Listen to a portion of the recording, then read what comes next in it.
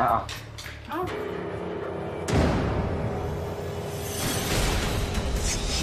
พี่โอปัดครับ วันนี้ผมมีเรื่องรบกวนนะครับ ให้พี่อยู่เวรแทนผมคืนนี้ได้ไหมครับ คือพอดีมีรายการทีวีอะครับเขาติดต่อผมมาเกี่ยวกับเรื่องโรคเลือด ผมเห็นว่าเป็นประโยชน์กับคนดู ผมก็เลย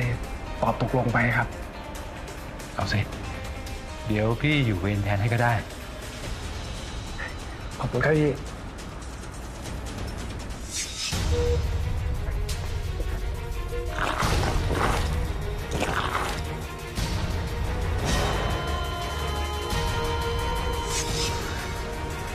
พี่หมอครับ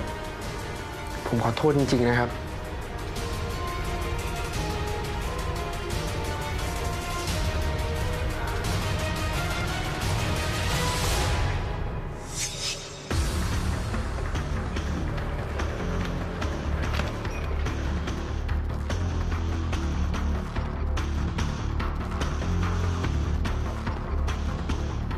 อให้เราไปออกทีวี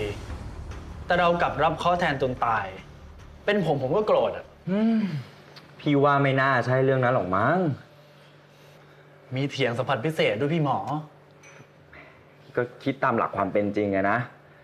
ถึงแม้ว่าหมอปลัดอาจจะโกรธหมอนพเพราะเรื่องนี้ก็จริงอะนะ แต่ว่าตอนที่หมอปลัดนอนป่วยอยู่หมอนพก็คอยดูแลอยู่ตลอดจริงไหมล่ะ